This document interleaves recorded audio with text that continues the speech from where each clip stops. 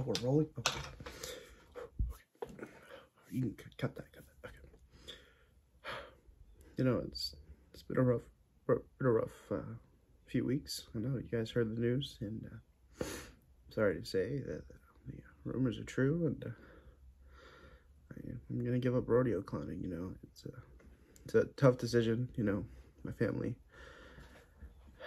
for everybody, and uh, feel like it's the right decision. But you know, it just it kind of sucks. Kind of, it's my dream, and you know, it's uh, it's hard to come back from.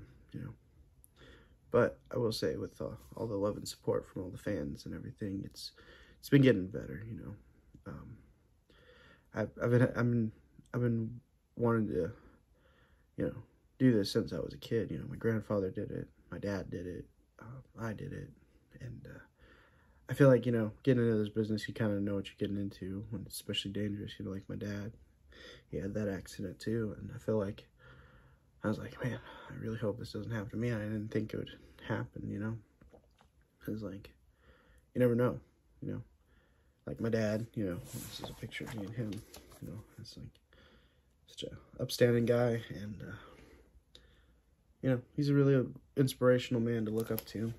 Really hard to fit his shoe, like fit in his shoes, you know, take that responsibility. Literally couldn't fit. His shoes are like too big, you know.